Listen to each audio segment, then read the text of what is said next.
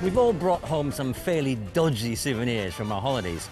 Bottles of alcohol we may never drink, hats we'll never wear, and a tan that leaves our skin dry and peeling. But some intrepid travellers return with something even more unpleasant. One such traveller was Girish Gupta. In 1997, he went for the trip of a lifetime to Peru, but brought back with him a rather gruesome souvenir. Two months after I returned from South America, I noticed a, a sort of small a small swelling on my on my front near my groin and a dark patch, a bit like a scab on my on my lower back. I went to see my GP. He said it was nothing to worry about, uh, just an infection that would go away, and the dark mark on my back would do the same. Unfortunately, a week later, the, the mark on my back had turned into a small crater. The wound grew to about the size of a credit card, so I went to my GP and he referred me quite quickly to uh, Manchester's Infectious Diseases Unit, which was very good. The consultant there suspected a tropical disease called leishmaniasis. Leishmaniasis is often misdiagnosed because you can't catch it in this country. Unfortunately, in the tropics, it's relatively common and it can occur as far north as Spain or southern France, where we often take our holidays. The culprits are these guys sandflies. In the same way that mosquitoes transmit malaria, these sandflies spread the leishmaniasis parasite.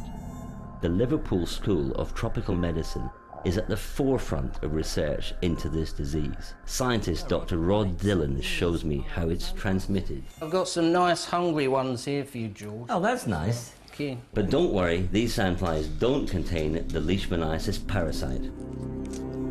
They normally drink nectar, but before they lay eggs, the females need a protein meal, and my blood is going to provide that. That's interesting because I, I can't feel anything. Which is surprising, as the sandfly is drinking at a rate equivalent to us drinking 70 pints of thick, syrupy liquid in just 30 seconds.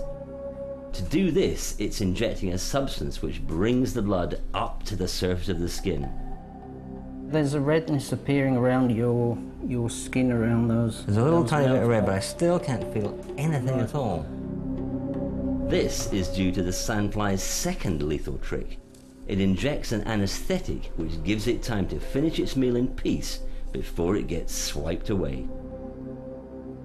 Well, I might end up with a couple of small itchy lumps, but they won't do me any harm. Sandflies are only dangerous when they carry the real cause of leishmaniasis, a microorganism called a protozoan, which is invisible to the human eye. The protozoa lie in the gut of the infected sandfly, biding their time until their host chooses its next victim. As they wait, they make a jelly-like substance which forces the sandfly to regurgitate a glob of parasites into the wound of its next blood meal. The body responds to the invading protozoa, causing the characteristic sores of leishmaniasis. Some forms of the disease can be fatal, and even the treatment is quite severe.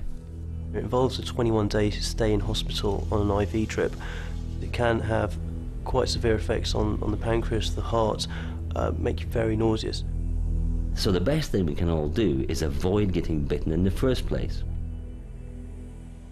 Insect repellents, long sleeve clothing, and sleeping under nets at night can all reduce that risk.